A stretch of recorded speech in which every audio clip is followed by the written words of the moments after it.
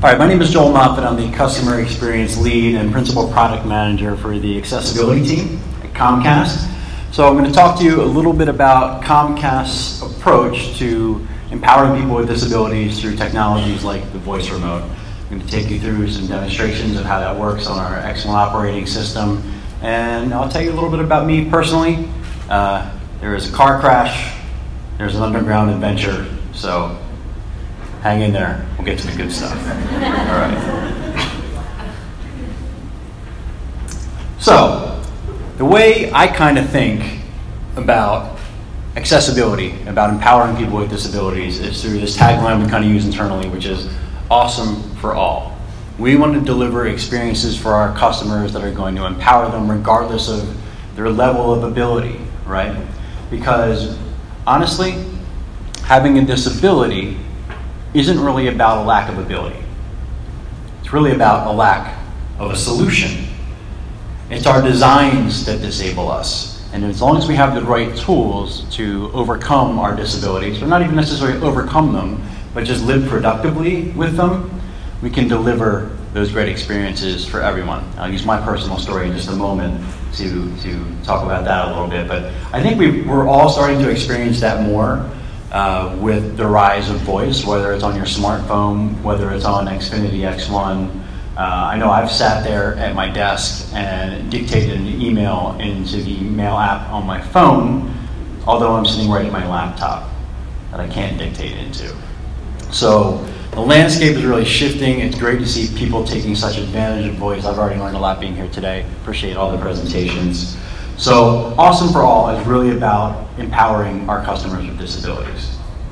So at Comcast, our, our role, we're within technology and product experience. So our accessibility team, we're product owners, we're working with other product owners across the business, across our lines of business, to ensure that we're designing and developing with accessibility in mind. So when that product reaches the hands of a customer with a disability, be it a sensory disability, a cognitive disability, a physical disability, you name it, uh, they're going to have a great experience right out of the box, and we're going to really level that playing field.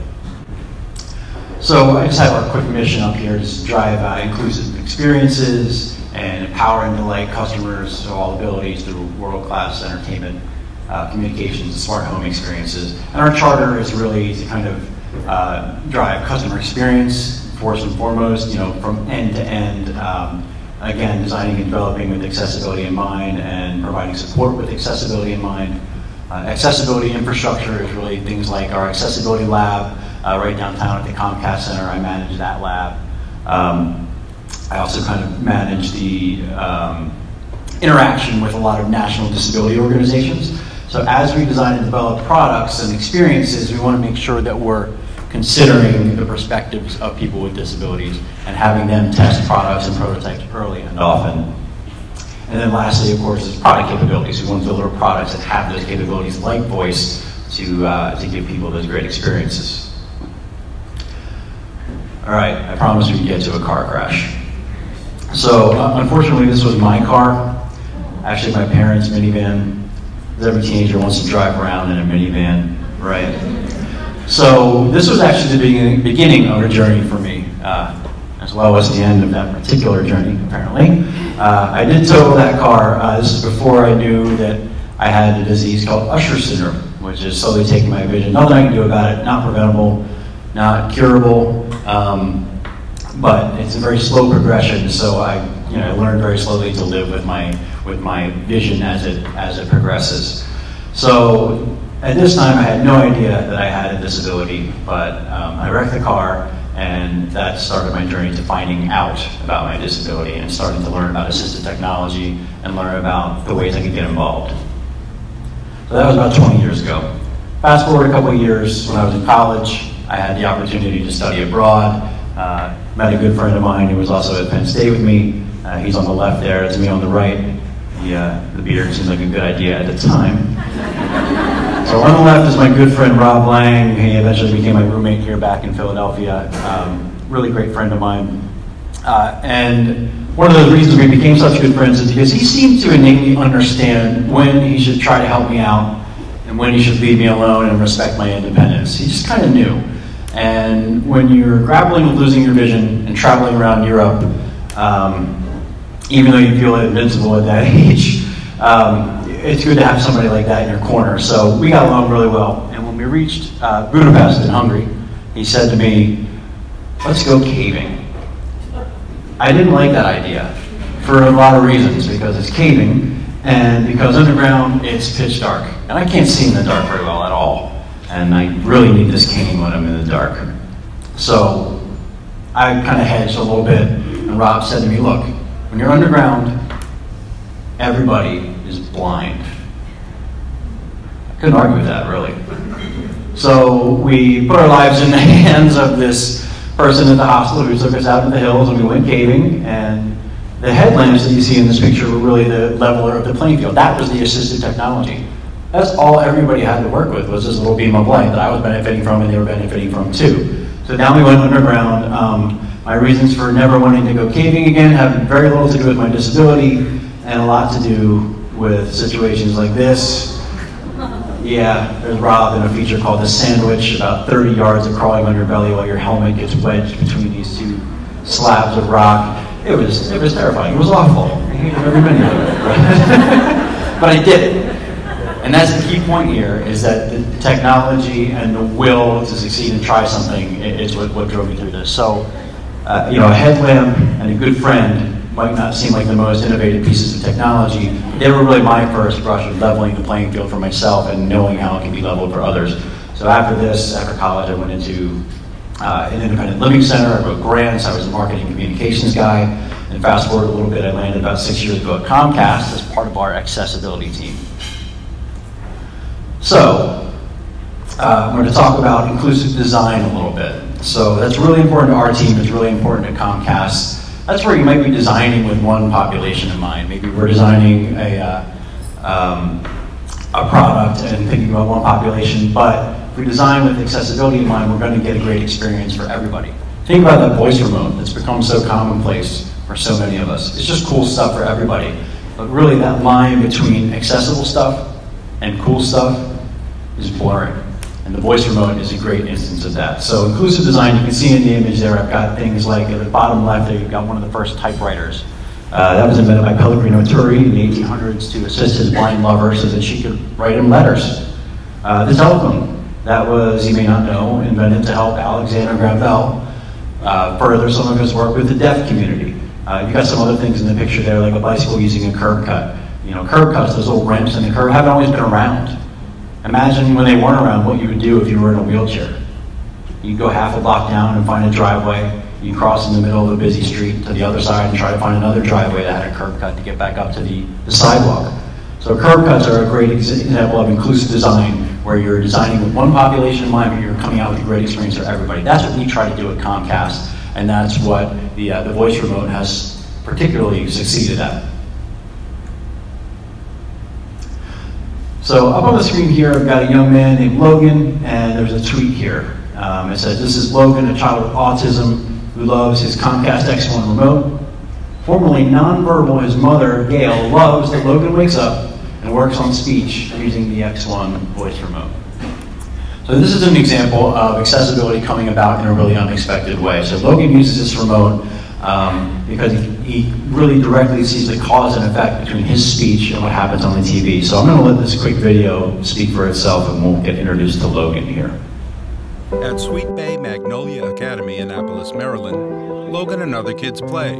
Gail Rand, Logan's mom. My eight-year-old son, Logan, has autism, has epilepsy, has ADHD. He's very high energy and very funny and is a super fun, amazing kid. He reads an alphabet card. Logan has historically had a lot of challenges with his behavior. He was nonverbal for many years. In the past year and a half since he started school, he's just blossomed. Um, you really start to see his personality that you didn't see much of before. He's learning a lot at every moment. He strikes rhythm sticks together. He loves people. He has trouble sometimes communicating to people, but he does love people. He likes making other people laugh and he enjoys when they make him laugh. He joins a half dozen kids in a music class. At home, he presses buttons on a TV remote. Logan started playing with the voice remote before I knew the voice option existed on the remote. He figured it out himself. Play Little Einstein. He likes to talk and make things happen. So the fact that he could push a button, in this case, I think the first time he used it was he wanted to play Little Einstein. Little Einstein. He said Little Einsteins, and the TV itself reacted. That was a fantastic reinforcement of him communicating. Shark Tank. Episodes appear on the TV. Logan selects one to watch. Outside, he throws a basketball into a net. Logan very much so responds to cause and effect. So he likes the idea that when he does something, it gets a reaction. There's an old saying that you meet one kid with autism, you've met one kid with autism. So it's hard to predict how different kids would use technology in different ways. Having a tool that he's communicating with in a way that is helpful for his learning is remarkable. A logo appears Comcast.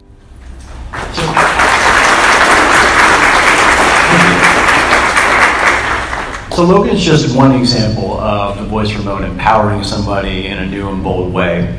Uh, other examples include on the left here, uh, think about somebody who's blind, like the gentleman on the left in the, the slide here. Think about what the voice remote means to them, being able to rely on the voice button and not have to thumb around and try to find the channel number buttons. Or just use the voice remote to tune right to a channel.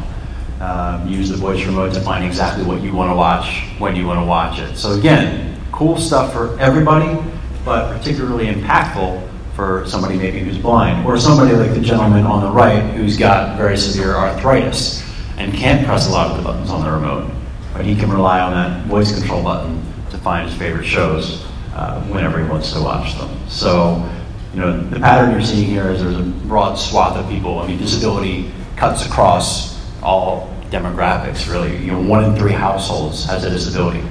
48% of those households uh, have a person with a disability as the head of a household. The disability community represents $200 billion in discretionary spending, and 29% of Americans are caregivers, people who care for and care about people with disabilities. That's 65 million people. So it's not just people with disabilities that we're empowering through this technology, it's the whole household. We're, we're restoring quality of life where somebody's less reliant on a family member or a caregiver to say, hey, you know, can you put on the news for me? And then that other person is taking control of the remote, right? So that's some of what the voice remote does. And not just for people with disabilities. Um, in the center there, those three little girls are mine. So at the top there, we've got Charlotte, and then Clara in the middle, and Christina at the bottom. So they're, they're seven, six, and three.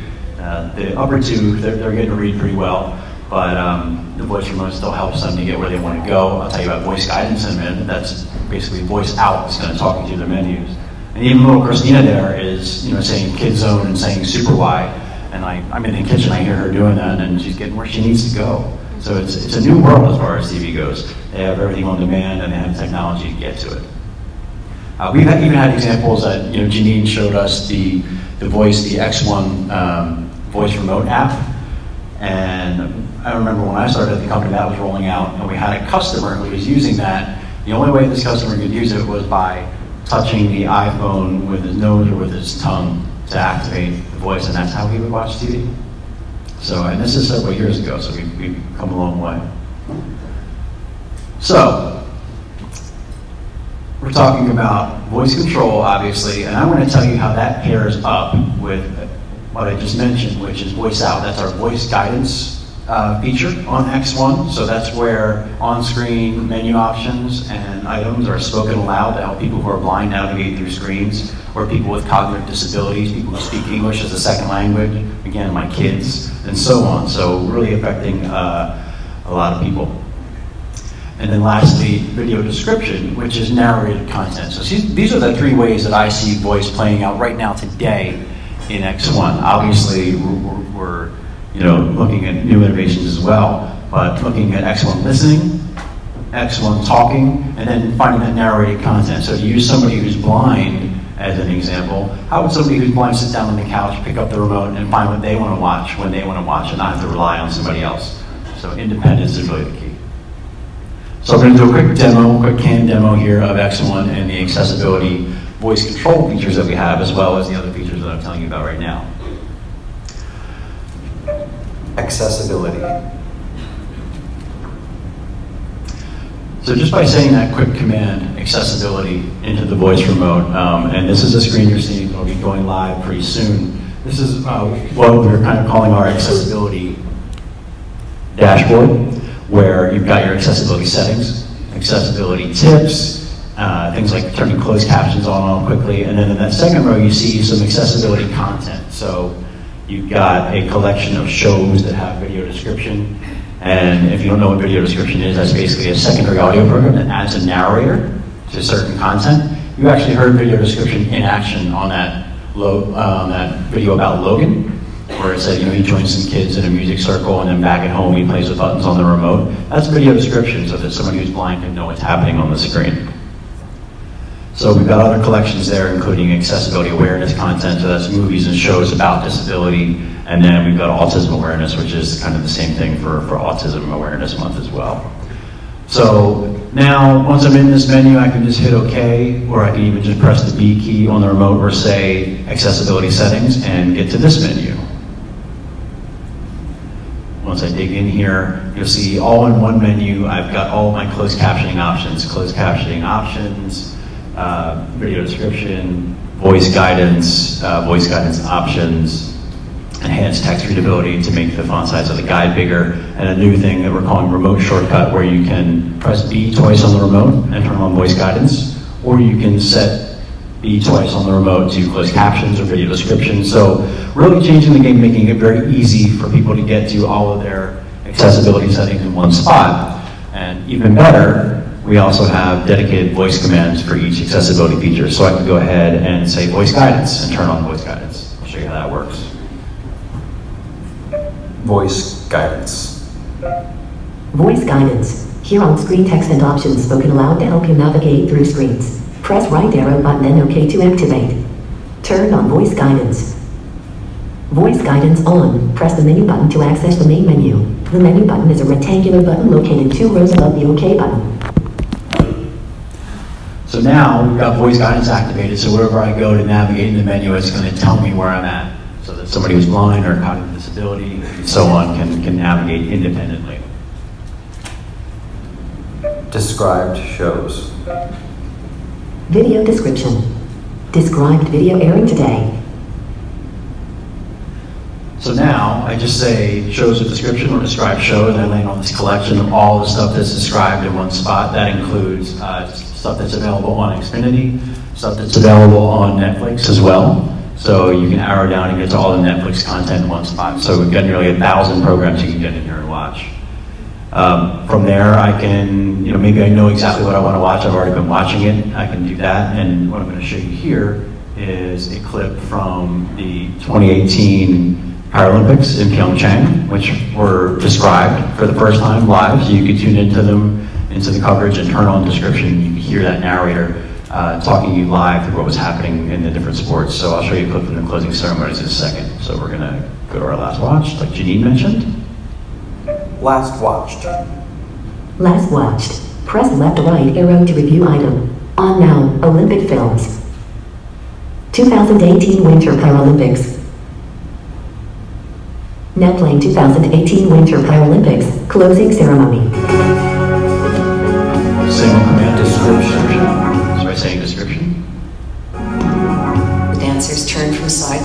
Their hands behind their backs.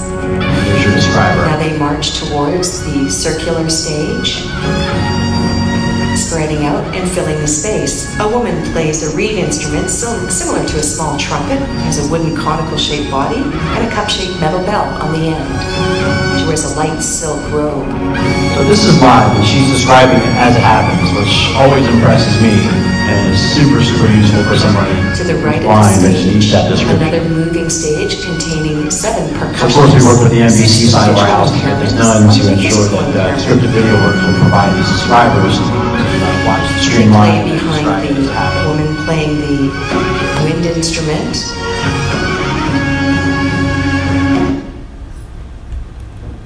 So if I leave you with one thing for our Xfinity customers and you have people in your lives with a disability who could benefit from these features, just remember all you've gotta do is just say accessibility into the remote or press the B key.